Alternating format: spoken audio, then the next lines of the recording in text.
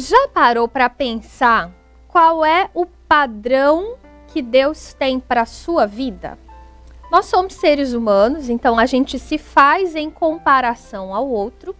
E durante toda a nossa vida a gente está procurando padrão, parâmetro, alguém em quem nós possamos nos espelhar. E em tempos de rede social, de ter uma oferta muito grande, né? De modelos a serem seguidos.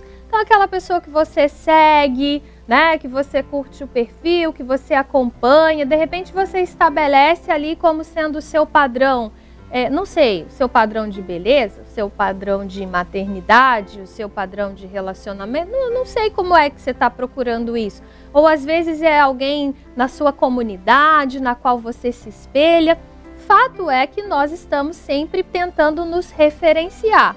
A gente está sempre procurando alguém que possa servir de modelo por causa das coisas boas que nós enxergamos naquela pessoa.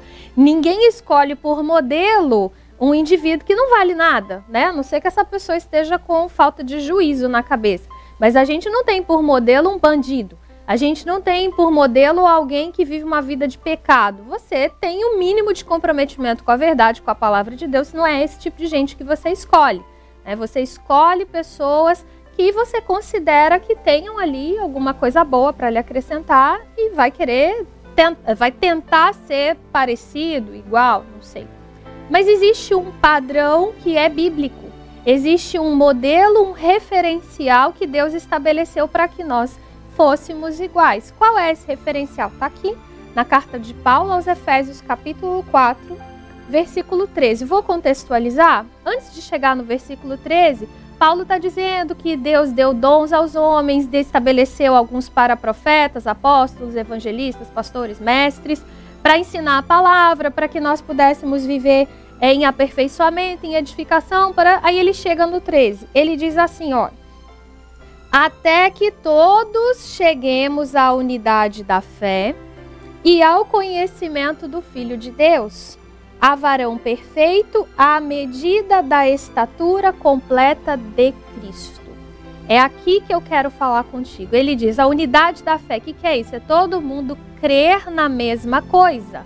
Todo mundo crer que Jesus Cristo é o único e perfeito Filho de Deus, que a si mesmo se entregou sem ter pecado para nos salvar dos pecados por causa do amor de Deus. Isso é a unidade de fé. Todo mundo acredita na mesma coisa ao conhecimento do Filho de Deus. Quer dizer, a gente acredita e busca conhecer o Filho de Deus através da palavra. A, a varão perfeito, esse finalzinho que está o nosso padrão. Deus quer que a gente chegue a varão perfeito à medida da estatura completa de Cristo. Isso é muito sério, é muito importante. Deus espera que você e eu cheguemos à medida da estatura, a estatura é da altura, do tamanho completo de Cristo. O seu padrão é Cristo.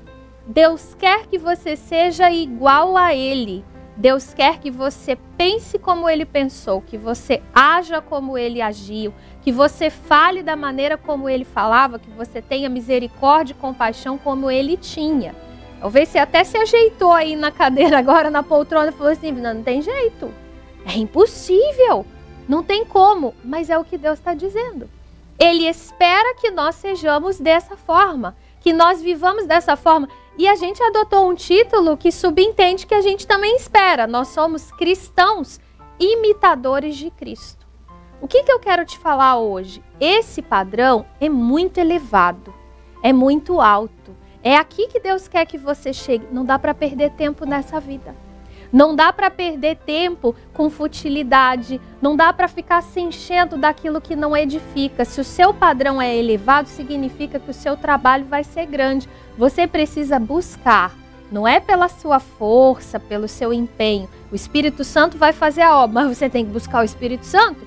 Você tem que dar lugar para que ele faça a obra. Você tem que desejar isso. Isso tem que ser o alvo da sua vida, isso tem que ser o desejo. Você vai direcionar e priorizar. Peraí, para que, que eu estou perdendo tempo com isso se Deus espera que eu seja igual a Cristo?